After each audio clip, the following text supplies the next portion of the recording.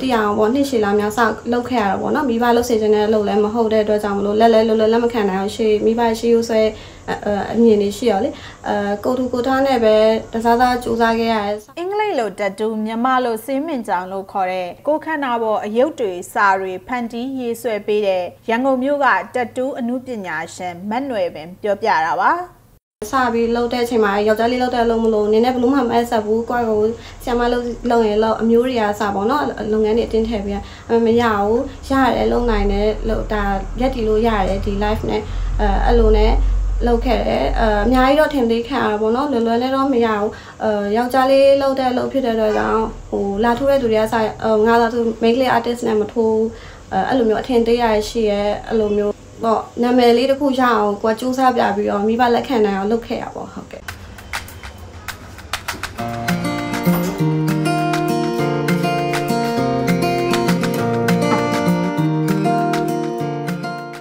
မြမယဉ်ကျေးမှုနဲ့လူပောင်စီးမြင့်စည်းကမ်းတွေအရမိဘဆွေမျိုးသားချင်းတွေရဲ့စိုးရိမ်စိတ်တွေသူတို့ရဲ့ဆန္ဒတွေတဲကဖောက်ထွက်ရတဲ့လူငယ်တယောက်ရဲ့အတွေ့အကြုံလို့ပြောရမှာပါ မန်နွယ်ပင်ကိုမိဘတွေကအင်္ဂလိပ်စာပြတဲ့ဆရာမတယောက်ချစ်စေချင်ခဲ့ပါတယ်ဒါပေမဲ့လို့2015ခုနှစ်မှာဘွဲရပြီးတဲ့နောက်တက်တူးထိုးတဲ့ပွဲတစ်ခုကိုသူသွားပြီးတော့ပြန်လာကြတဲ့ကလူတွေရဲ့အရေးပြားပေါ်မှာအမှုပညာမြောက်အောင်တက်တူးကိုဘလို့ထိုးရတယ်လဲဆိုတာကိုစိတ်ဝင်စားသွားပြီးတော့သူ့ဘဝကိုတက်စစ်ချိုးချလိုက်ပါတော့တယ် ငကိုကစဉ်းစားထားတော့ကျောင်းပြီးသွားတယ်အင်္ဂလိပ်တီချာလုပ်မယ်ပေါ့နော်မိဘလည်းဖြစ်စီခြင်းနဲ့ဒါပေမဲ့ဒီတတူဘွဲကပြန်လာပြီးရဒီလူခန္ဓာကိုယ်ပေါ်မှာတတူဘလို့ဆဲလဲကိုကိုကအရန်သိချင်သွားတယ်လိလာချင်သွားတယ်အဲ့ကနေဆက်ဆက်ပြီးတော့အနာဂတ်ရှိအတွက်ဖြစ်နိုင်လားလို့စဉ်းစားကြည့်တဲ့အခါမှာအမ်ဖြစ်နိုင်တယ်ဒီတမန်ဝမ်းကျောင်းပညာတစ်ခုနဲ့မိဘလုပ်ချင်နိုင်တဲ့စီးပွားရေးလေးဖြစ်တယ်ပြီးတော့သူများနဲ့မတူတဲ့အလုပ်ကလေးဖြစ်တယ်ပြီးတော့ကိုယ်ပိုင်အချိန်ကိုယ်ပိုင် creation တွေအကုန်လုပ်နိုင်တဲ့အတွက်ကြောင့်မလို့ အဲတခြားအရာတွေအားလုံးကိုဆုံးလုပ်ပြီးတော့ခြားလုပ်ငန်းတွေအကုန်လုံးကိုမေ့ပြပြီးတော့ဒါလေးကိုပဲ2015လောက်ကနေစပြီးတော့ဒီဇိုင်းမမလုပ်ခဲ့ရပါတော့2020ပြည့်နှစ်နောက်ပိုင်းမြန်မာနိုင်ငံမှာအမှုပညာလောကကမော်ဒယ်တွေအဆိုတော်တွေရုပ်ရှင်သရုပ်ဆောင်တွေပါတက်တူးကို fashion တစ်ခုအနေနဲ့ထိုးလာကြတဲ့အတွက်မြန်မာအမျိုးသမီးတွေကြားထဲမှာရေပန်းစားလာခဲ့တယ်လို့သူကပြောပြပါဗျ။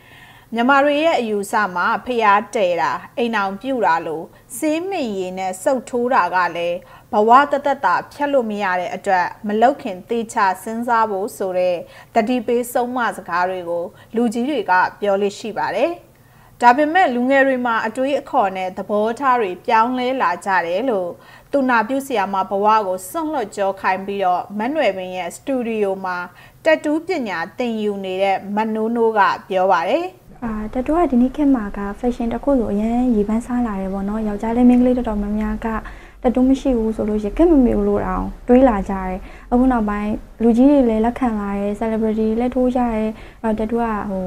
အရင်ခေတ်ကလိုမျိုးရိုင်းမနေတော့ဘဲနဲ့ပေါ့နော်အရင်ကခင်မီ fashion ဖြတ်လာတယ်ညီမကိုယ်တိုင်လည်းတတူးကိုတအားသဘောကျတယ်ကျွန်တော်တတူးလိုင်းကိုရွေးမယ်ဆိုတော့မနှွယ်ပင်ပေါ့နော်ညီမရှစ်နှစ်လုံးလုံးသဘောကျခဲ့ရတဲ့မနှွယ်ပင်စီမှာပဲပညာသင်မှုညီမရွေးခဲ့တယ်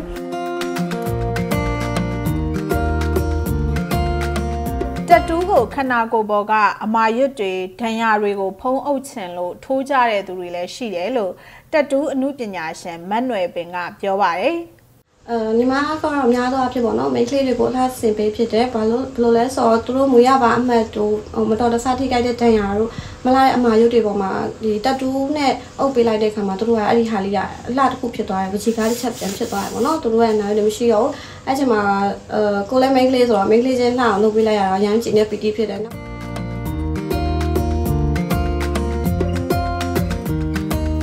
မနှွယ်ပင်ရဲ့ဦးလေးဖြစ်တဲ့ဦးမိုးကျော်ကလည်းလူကြီးတွေပါတက်တူးထိုးတာနဲ့ပတ်သက်လို့သဘောထားပြောင်းလာကြပြီလို့ပြောပါတယ်။အဲအရင်တော့ကတော့တက်တူးဆိုတာတော့ဟိုဘယ်မိဘတိုင်းမှမကြိုက်ကြပါဘူး။နောက်ပြီးတော့ထိုးရတာလည်းဟိုလမ်းဘေးမှာပြစ်တယ်လို့နဲ့နောက်ပြီးယောဂအနေနဲ့လည်းအများဆုံးရှိနိုင်တယ်။အခုချိန်မှာတော့တက်တူးပညာဆိုတာတော့တကယ်ဟိုပညာရဲ့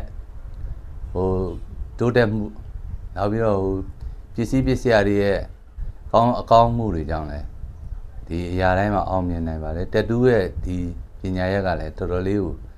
လေးစားလောက်တဲ့အနေအထားရှိပါတယ်ဟိုလူတယောက်ကိုလှပစေတဲ့စိတ်ဖိုင်းလည်းဖြစ်နေပါတယ်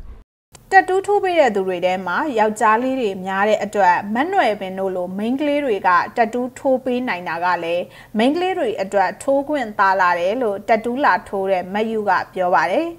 ကျမကမထိုးသေးဘူးပေါ့နော်ဒီတိုင်းပဲလာကြည့်တာပေါ့ဒါပေမဲ့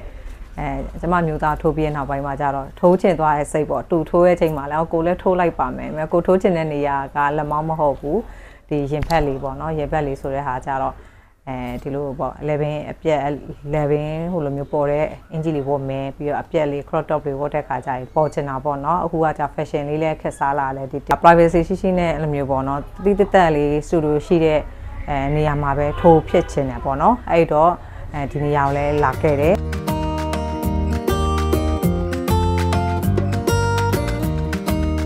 အခုဆိုရင်တော့မန်နွယ်ပင်ရဲ့မိဘတွေကိုယ်တိုင်သူ့သမီးရဲ့တက်တူးလုပ်ငန်းကိုပံ့ပိုးပေးလို့ရန်ကုန်တိုင်းဗဟန်းမြို့နယ်ရေးဒါရှိလမ်းသစ်မှာ